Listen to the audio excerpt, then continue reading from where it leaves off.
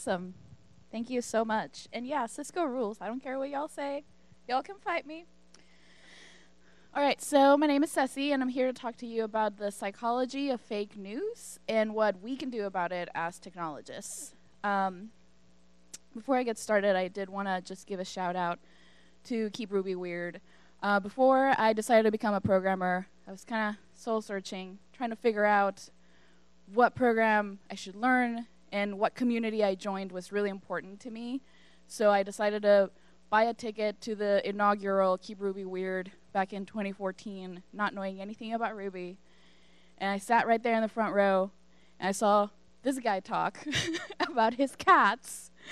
And I knew that this was the community for me. And um, I've uh, been into Ruby ever since. So, still a newbie, but I'm very grateful for uh, to this community, and I'm just, it's for me, just amazing to be here talking to you right now. So thank you. Keep Ruby weird.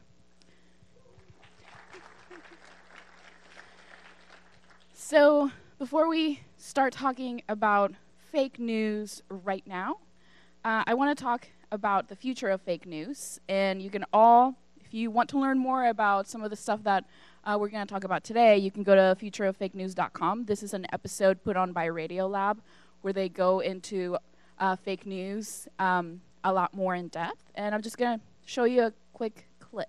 This film has been modified from its original version. It has been formatted to fit this screen, and it never happened. On the back end now of my presidency, now that it's almost completed, although there are all kinds of issues that I care about, the single most important thing I can do is play golf. Because our parties have moved further and further apart, and it's harder and harder to find common ground. So, you know, when I said in 2004 that there were no red states or blue states, they're the United States of America, I was wrong. On the back end now of my presidency, now that it's almost completed, although there are all kinds of issues that I care about, the single most important thing I can do is play golf.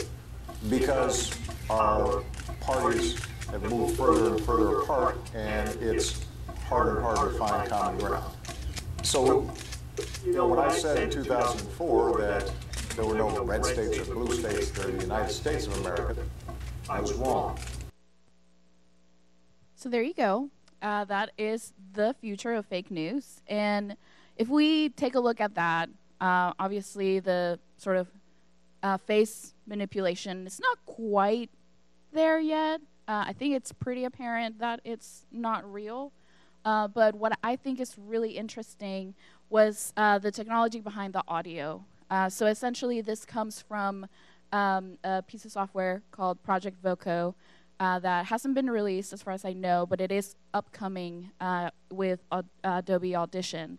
and essentially, what this does is that it takes this existing audio, and because um, any person that's speaking for say a few seconds, maybe a couple minutes, they'll run through every sound necessary to produce the English language in just, you know, a few seconds, maybe a couple minutes. So if you have enough of an audio bite from someone, you can sort of run that through Project Voco and literally just type words and you'll get an audio clip in that person's voice of something that they didn't say. And I think that's really interesting because then you don't necessarily have to have video of someone actually moving their mouth. You can try to manipulate an existing video, uh, not show someone's mouth moving, but have that audio clip and produce something that's, you know, pretty close to something that someone could say. Um, so that's not out there in the public yet. It's still upcoming. Uh, and again, if you want to learn more about this technology, go to futureoffakenews.com. So I think that's interesting. Let's talk about the present, though. Let's talk about how we got to this world we live in right now uh, with fake news sort of coming into our sphere. Um, a lot of people tend to blame uh, the social media bubble that platforms like Facebook have created. So let's kind of talk and go through that bubble. So, first of all, we have things like selective feeds. So, essentially, this means that a platform like Facebook, and I think we all know this, they track the things that you click on, the things that you like, the things that you comment, and they try to show you content that fits that bill. And obviously, from a product perspective, this makes sense because they want you to continue to engage with that platform, right?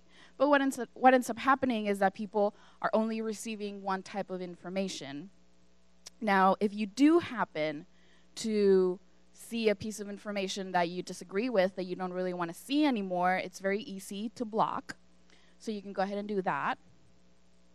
But then also, we have things like link previews within things like Facebook, where you can see a headline, you can see a blurb, and you can also see like a photo, and you can kind of get the gist of whatever that article is trying to say. So, what ends up happening is that people no longer click on articles. Especially if you're consuming all of your information in a feed, you're probably just skimming through. You might like something, uh, but if you're actually going to click through, it really needs to grab your attention. So, what ends up happening is that this gives way to clickbait. So, it's a real problem when you have to write headlines in a way that really gets people's attention. So, I'm going to share with you 10 ways that you can write effective headlines, and number nine is going to shock you. so, what ends up happening now as a result of these things, such as clickbait, is that we get really targeted content, and news outlets are beginning to really try to write their content in a way that they know their audience is going to react to, whether it's positively or negatively. Because if you react to it at that time, that's what's going to get you to click. So, this is why coverage now is no longer really objective. It's really more okay, what is what our audience will want to hear about this particular thing that's going to get them to actually interact with this story. So, for example, this is the same event covered by two established media outlets, two completely different perspectives. So, who do you believe? You're probably going to believe whichever outlet conforms already to your worldview. And I think that this makes it really hard to really parse what's happening around us. Now, again, these, these are both two established news sources fake news outlets also use this approach. So here uh, you have two news outlets. Uh, one is Liberal Society and the other one is Conservative 101. Guess what? They're both owned by the same person. Now, notice that I said person and not people or company because it's so easy now um, for someone to just get a couple of WordPress instances up on AWS, uh, and then just spin up two sites. You throw throw on a theme on there, get some logo, and you just write the same story but with two different slants. And now, if you notice something about both of these headlines, how they end, are you glad? And the other one is prepare to be infuriated. So, and again, this was not actual news. This was a rumor, rumor, rumor that was going around. It wasn't even anything substantiated. But you have to cover even the smallest whisper and then try to give it some sort of slant and you throw it on, on some website and then people will click on it. Um, so just so you get an idea, NPR did a, sto- a story on uh, people that write fake news and maintain fake news websites.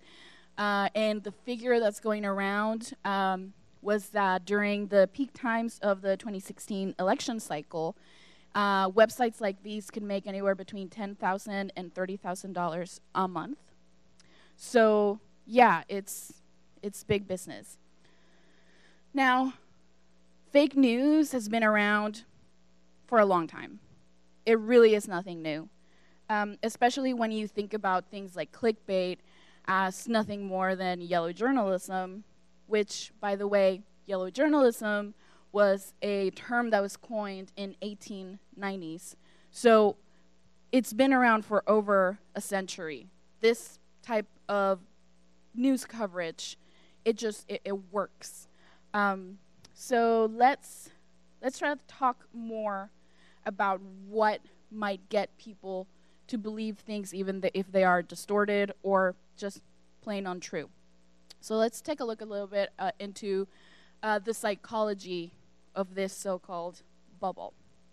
And we're going to take a look at three sort of principles uh, that can kind of explain this. And I hope y'all don't fall asleep. so, the first thing is system one and system two thinking. Uh, this is from Thinking Fast and Slow. So, essentially, we have two sort of ways of thinking and using our brain power. Uh, system one is fast, intuitive, uh, it's things that you don't have to think about to do, so you don't have to actively think about driving. Like if you if you drive home and you've driven home a million times and you're just kind of on autopilot, you just do it. You're not really actively thinking about it. It's kind of in the back of your mind. That's the type of like think system one thinking. And beliefs are system one thinking. This is why it's hard to get people to change their beliefs because they're very much um, an intrinsic part of, of them. Then you have system two thinking. And system two thinking, it's more analytical, it's your reasoning. So, this is why when you are presented with things that challenge your worldview, it's not that it's challenging your worldview that's negative, it's that it just, it's literally more challenging to think about those things because you have to use your analytical mind. So, this is why it's hard to process information if it differs from our own beliefs or worldview or if it challenges that. And this is also why it's just easier to consume information that you already tend to agree with that already conforms to your own beliefs. Now, the next part comes from a book called The Knowledge Illusion, which is kind of fascinating and it talks kind of about how much we don't know. Um, so, essentially, what the authors of The Knowledge Illusion talk about in relation to how little we don't know is that if we had to know every single detail about everything that we use in our lives on a day-to-day basis we'd like we just wouldn't be able to function because it's too much information just how uh, like ben was saying uh, in his talk and essentially, uh, the the example that they like to use is if everyone insisted on mastering the principles of metalworking before picking up a knife, the Bronze Age wouldn't have amounted to much. To sort of bring that into the now, it's kind of like if you needed to know absolutely everything there is to know about a car, not just driving a car, but everything with the motor and the tires and the radio, like imagine every single part that goes into a car, knowing intimately every detail about it, on top of also knowing how to drive. Like it's just too much information. You wouldn't be able to drive. Your brain would just explode, right? So your brain does a really good job of just you. All you need to do is know enough to how to do this thing and your brain will sort of fool you and give you the comfort that it's okay that you don't know all of these other things so you can actually do the thing that you need to do. Um, so, I'm also going to talk about the bike study. Um, so, essentially, this study was asking people to draw a bike, but also rank their own knowledge of a bike. So, they would be asked how well do you know bikes on a scale from 1 to 10, 10 being the highest? And then people would say, I know bikes. You know, I would give myself maybe an 8 or a 9. And then they would say, okay, draw the bike. And then people would be like, whoa, I actually can't do this. And you start thinking, just like, uh, just like in that other um, drawing that Ben was showing. And if anybody is watching this on the recording, go and watch learning to see from this same conference. Um, because it's essentially the same thing. People realize uh, it's you know it's your perception of something, and you only remember as much as you need. So some people really drew the tires really big because that's what they remembered. Some people they always drew the seat because they know they gotta sit on it. Um, and after people attempted to draw the bike and then they realized that they really couldn't, then they would be asked again, how well do you would you say you know bikes on a scale from 1 to 10, 10 being the highest? And people would say, oh, well, I guess it's more of a, you know, 6. Uh, so typically, what would happen is that people would experience their own lack of knowledge and be become aware that they didn't know something. But you don't know that you're not aware of that until you experience that depth So we are wired to be okay with not knowing, and in fact, we tend to think that we know more than we actually do. And this is because beliefs are not actually rooted in deep understanding. You just need to know a little bit. But furthermore, what's even more interesting about that is that if that belief is shared in a group, that belief is reinforced. So we only need to know very little about things. And if we believe in this in a group with other people, there's like this sense of belonging, and it also reinforces that belief. So, again, this is another reason why it's really hard to get people to be convinced otherwise when they are challenged with uh, something that might be different from what they already believe or what their worldview is. Now, I think that uh, Clay Johnson really distilled a lot of this information really well in the informa- information diet. So, what I want you to do right now is close your eyes and think about your most favorite delicious food that is like bad for you, but you love it. So, for me, that would be like a bacon cheeseburger and some cheesy fries. And now I want you to think about food that's good for you, that you do consume every now and then because you know it's good for you, but you don't really like it. And for me, that would be like kale. Um, so hold on to that. You can open your eyes now. Just, just know what your foods are, what your likes and your dislikes are, and let's think, think about this. So, in information diet, Clay Johnson says, information that you agree with uh, and therefore you find stimulating, it's like eating that delicious food. It's like eating, for me, it'd be like eating a delicious cheeseburger. Um, it's that pleasurable. It like it it sort of lights up those same parts of your brain that light up when you eat food that you find delicious. Uh, and it's the same thing for information that you find challenging, it would be like eating that thing that you don't really like to eat, even if it's good for you. This is why, when people are presented, even when they are presented with facts, if they challenge a belief that they have, it's hard for them to literally digest.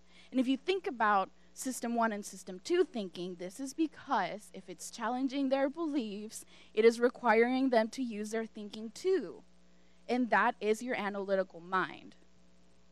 So, to try to put all of this and wrap it up, TLDR. So, deep beliefs don't require deep understanding. They are actually deepened if they are experienced in a group. We're also not really likely to seek challenging information or information that doesn't really conform to our worldview because, again, it requires system, system two thinking, so it's a little bit harder for us to process. But then also, if you think about knowing what we don't know, we may just not know what we don't know, so we're not going to go seek it out. Uh, and then also, it's just easier to consume information that we agree with, just like junk food is yummy. So that's really how that bubble is made. So, is it tech's fault? And a lot of people have said, you know, Facebook needs to take accountability for their role in spreading fake news, etc. And I like to say that, you know what? It's not necessarily tech's fault because as you can see, we're wired already to sort of behave this way.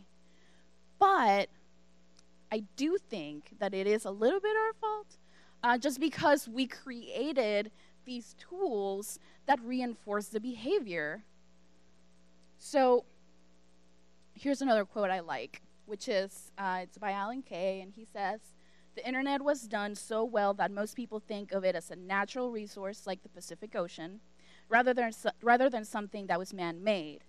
When was the last time that a technology with a scale like that was so error free? And we have moved to a point in our lives with the internet that we literally went from 1998, don't get in strangers' cars, don't meet people from the internet, to now literally summon strangers from the internet and get in their car. So, I mean, in the span of about 20 years, we've done a complete 180. And if you think about it, you know, people that think the internet is a is like a natural resource, they're not really going to stop and question what they're reading. Also, if you think about the internet as like this stopgap of our shallow knowledge because now we know that there's a lot that we don't know. Uh, even though we might feel like our knowledge is deep, we don't know until we experience that depth.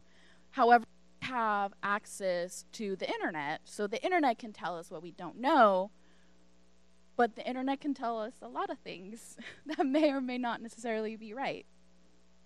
Um, so, what can we do as technologists and I think that there's human solutions and tech solutions. So I'm going to talk about human solutions first.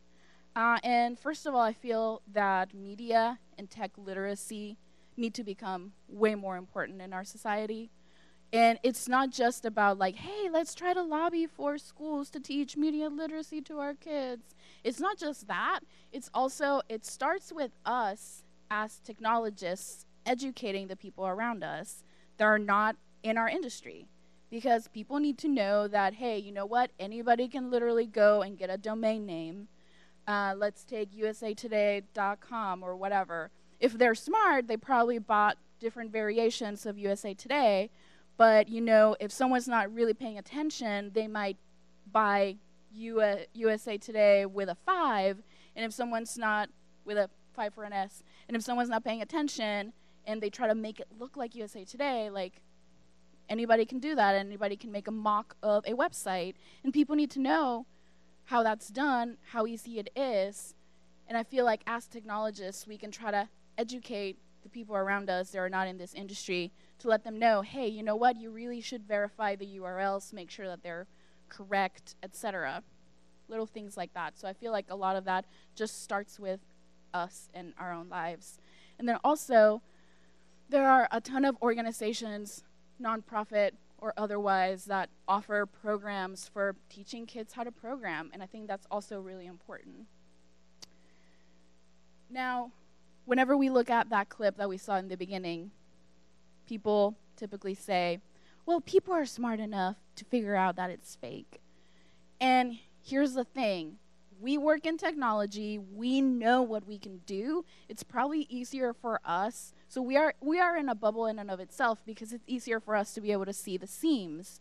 But imagine if someone shares a clip that's kind of like what I showed you today, which is a video that's fake uh, with fake audio and fake video, and someone shares that within their social sphere. Well, if that if the message in that video already sort of reflects my own beliefs and it was shared by someone that I know that shares those beliefs, do you really think that that person is going to say like that's fake?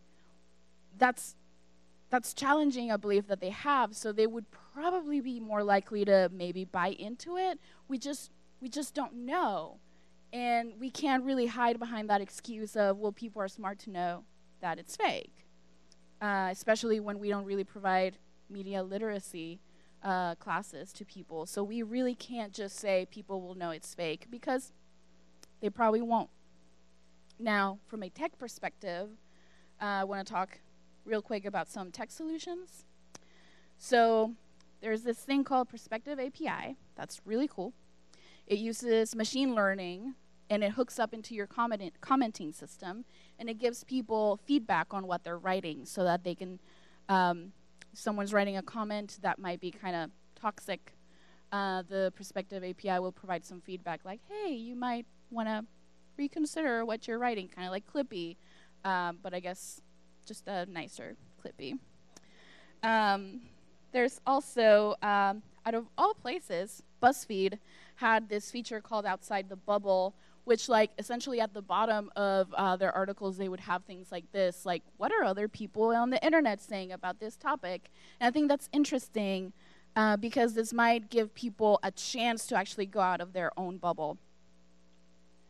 There's also something along this uh, this idea done by the wall street journal called blue feed red feed. And this is essentially like a curated list around different topics of what a blue feed looks like and what a red feed looks like so that people can go and see differing views on a specific topic. I think this is really neat. However, just like we learned today, people aren't always going to go seek out information that they disagree with. So I think that we need to, I think that this is on the right track, but people may not necessarily go out and seek something like this on their own. And then also, the Knight Foundation is actually looking uh, for projects that tackle this very thing, uh, combating fake news. So I would say if there's anybody here uh, or watching the talk um, that has an idea about how to fight fake news, go and find an opportunity like this because there are people out there that are providing grants to people with ideas. So go and make it happen because you can do it. Then, lastly, I think that we need to think more about the psychology and behavior surrounding the stuff that we build because I feel like as an industry, we talk a lot about best practices, we talk a lot about the nuts and bolts of what we build, techniques, how to test, etc. We talk a lot about the nitty-gritty. We don't always talk about psychology. We don't always talk about ethics. And I think that our industry is no longer the baby that it used to be. We've been around for long enough that we need to start talking about these things as an industry if we really want to try to fight things like fake news uh, in tech. And then lastly, kind of going along those lines, I feel like part of the reason why we don't always get to talk about things like the psychology or the ethics of what we build um, is because we're so concerned with disrupting as opposed to actual change. And I feel like that really needs to change in our industry because disruption is fast. I can poke you and I just disrupted you, but did I get you to actually stand up?